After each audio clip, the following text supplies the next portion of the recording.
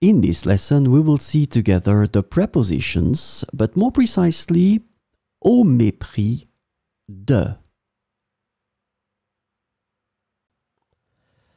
So, of course, the first thing that we need to see together is what is une préposition?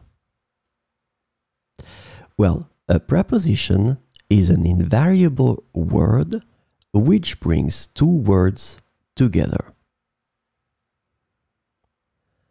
The second word is called complement and it allows to specify the time, the cause, the place, the state, the manner, the purpose, or the matter. The second word can be another noun, a pronoun, an infinitive verb, or an adverb. And last but not least, remember that this complement can also be a sentence.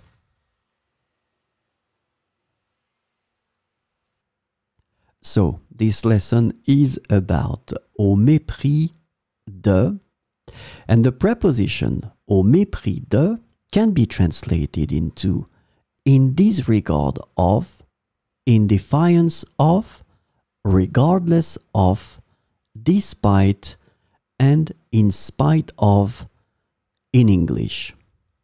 And so we will see four examples with au mépris de. Il a agi au mépris de toutes les règles établies. Il a agi au mépris de toutes les règles établies. Ils ont poursuivi leurs activités au mépris des avertissements. Ils ont poursuivi leurs activités au mépris des avertissements.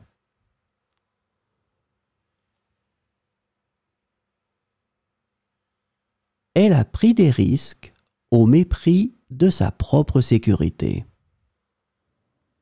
Elle a pris des risques au mépris de sa propre sécurité.